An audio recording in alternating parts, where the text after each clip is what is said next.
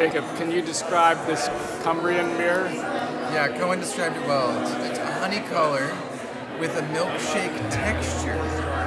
Um, very frothy, like a beer latte. It's delicious. Hmm.